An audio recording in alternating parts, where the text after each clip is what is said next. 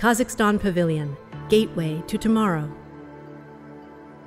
Similar to a yurt, the mobile home of the nomads, the Kazakh Pavilion at Expo 2020 in Dubai is built using sustainable, lightweight construction.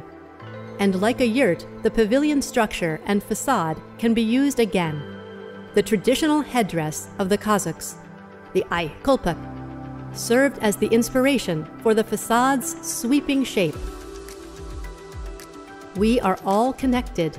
The fascinating DNA show conveys this message before the pavilion guests discover the country with all their senses. Inside the pavilion, an innovative and interactive exhibition presents the millennia old nomadic culture, the overwhelming nature, and at the same time, the modern ideas and dynamic development of Kazakhstan. Science labs, interactive exhibits, and creative workshops, tactile surface installations, and even digital grass of the steppe invite visitors to experiment and join in.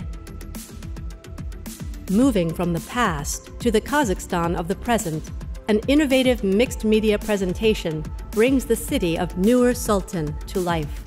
And in the Future Now exhibition area, the public creates its own visions and experiences future oriented projects. The pavilion's highlight is the show in the Panorama Cinema with a 180 degree projection.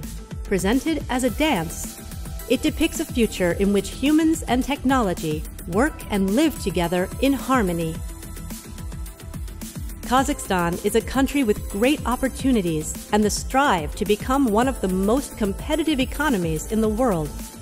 And so, the impressive architecture of the pavilion expresses the country's pride and confidence. An architecture that consists of two different elements a spectacular freestanding facade that provides pleasant shade, and a solid core building in traditional, sustainable construction.